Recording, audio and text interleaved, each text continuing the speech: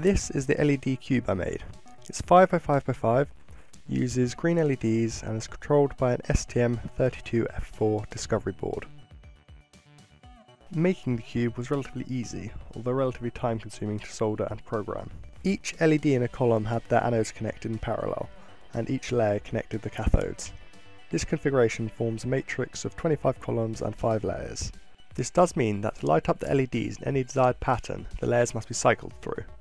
This isn't a problem because it can be done multiple times a second, and with a persistence of vision effect, it looks like they're all lit simultaneously.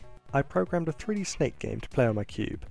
I used a broken PS2 controller and wired the potentiometers directly to the ADC pins of the STM board so it could read them and move the snake appropriately. A food piece will randomly be generated in an empty position each time the snake eats one.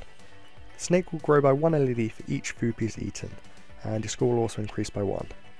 As expected, if you hit yourself or run a wall, then the game ends and reads out your score. This was one of the first projects I made that wasn't for university that required a significant amount of programming.